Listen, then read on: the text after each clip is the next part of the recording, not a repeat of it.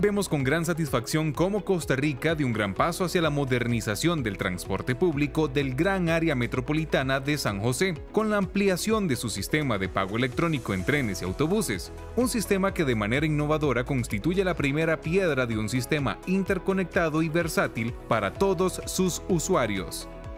Es innegable que el transporte en todas sus modalidades nos conecta, nos permite movernos de un lugar a otro, abastecernos, pero sus beneficios e impactos suelen ser superiores y multisectoriales. El transporte, como nos evidencia el SIMPTP, se consolida hoy como uno de los canales más potentes y efectivos para fomentar la inclusión social de los ciudadanos más vulnerables.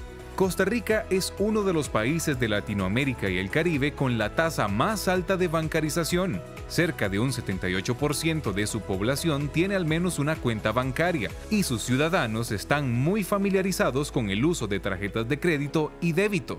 De acuerdo con el Banco Central, el reto de lograr mayores tasas de bancarización pasa por incluir a las poblaciones más vulnerables y evidenciar los beneficios en materia de seguridad, trazabilidad y eficiencia que ofrece la dimensión digital. La gran pregunta es, ¿cómo llegar a ese 22% de la población? Hoy, un 50% de operaciones de pago se hacen aún en efectivo, y de este valor, más de 500.000 son en el transporte público. Ahí está la respuesta. El transporte, por su capacidad de incluir a todas y a todos, es una de las claves. Es un común denominador de la sociedad. El transporte constituye una actividad fundamental para la mayoría de la población, pues es el principal medio de acceso al empleo y a otros servicios básicos como la educación y la salud.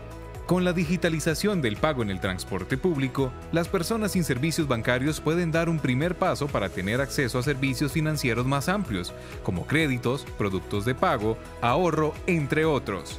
El SIMPTP es un ejemplo de un proyecto vital para la movilidad urbana. Es además un proyecto alineado con la visión 2025 del Banco Interamericano de Desarrollo, al incorporar elementos de la economía digital, facilitar el apoyo a las pymes, promover el empoderamiento femenino e impulsar la sostenibilidad ambiental.